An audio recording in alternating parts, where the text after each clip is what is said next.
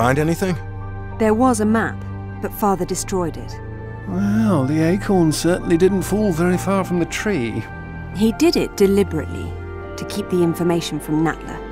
But I'm sure he recorded everything first, and what's more, he found Thor's other gauntlet. Where'd he put it? Right under your nose.